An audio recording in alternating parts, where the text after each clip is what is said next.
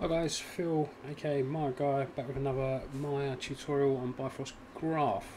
So leaving, um, starting off from where we left off in um, Bifrost Graph Nodes Simplified Part 1, we can see that we've got our cube here and we uh, used an input. So we took all of the values from here, um, the X, Y and Z values, and we put them into an input and we could move them around within inside Maya, like so. However, being the guy that I am, I want to complicate things and I don't just want a cube, I want more than a cube. So I want a sphere, let's scale that down a bit and move it over here. And I want a cylinder, let's scale that down, I'm going to move that over there. So, do you know what? I want a torus as well. And I want that above the cube. So we've got a few objects there um, but obviously uh, Bifrost Graph can't see those objects yet. So we're just going to drag them in. So we're going to get the sphere in.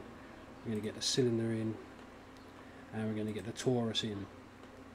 So now we've got our objects. And let's just open up Bifrost into a bit of a bigger window. So we can see that we've got um, these points only allow for one input so we can only put one object in at a time. What we don't want to do is replicate this another three times and plug them all into the output. Um, there are some reasons why we might want to do that, but we'll look into that another time. But at the moment, we just want to move all these objects at once. Um, so how would we plug all of these into here? See, if I plug that into there, it only takes one input, so that's no good for us. Well, that's where um, something called an array comes in handy. So we'll just hit the tab key and we'll type in array and we want to build an array. So what is an array? An array and in the simplest terms, very simple, it's a box or a node that can hold lots of information from multiple sources. Alright, so I can drag in this cylinder into an array and we'll get a new port here so I'll drag my next object into one below. I'll drag this object into there as well.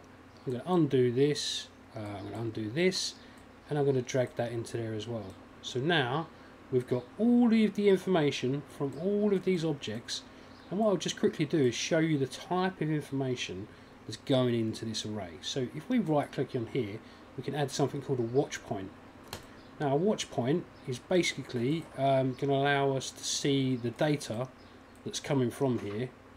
Um, let's just remove that and add it again. It's not showing up for some reason. Hide info, show info, remove watch point.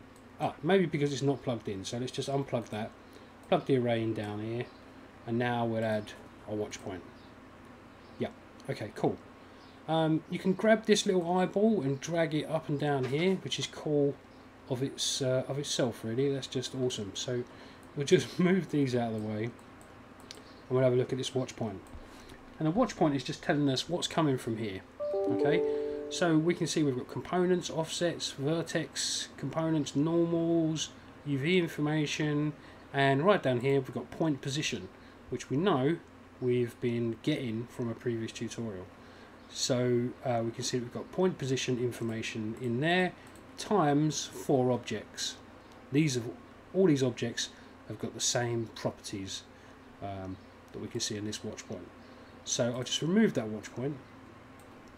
So we've got an array. We've got all of that information there and it's stored in each of these slots and all of that information can be taken out of here.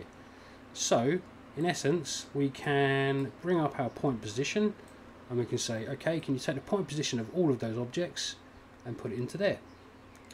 Then we can set out out geometry. I'm just going to stick it into a new port. Delete those ports like so. Now we've got a geometry uh, geometry slot here and that will only accept one um, one object. So we'll just drag the uh, another um, pick whip from the build array into that geometry there. So now, if I go back into Maya, we should see all of our objects. So I'll just put all the original ones into this same display layer as our cube. Um, they're hidden, so these are the Bifrost objects. And now I can go back to the Bifrost graph and I can scrub as I did with the cube. Um, that's because we haven't touched any of this. The input is still there.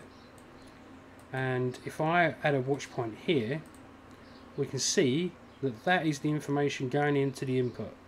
We've got translate X, Y and Z.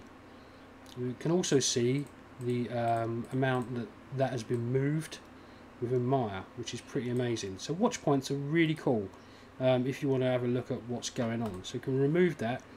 We can even uh, stick a watch point on this array coming out of here and it should just give us a number of objects. Size 4. So the size of this array is 4 objects.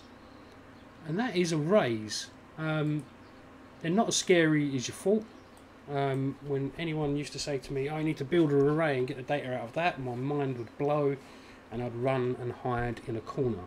Um, but because we're using Bifrost and we can visualize um, this programming language uh, through nodes, it all becomes a lot more simple to understand.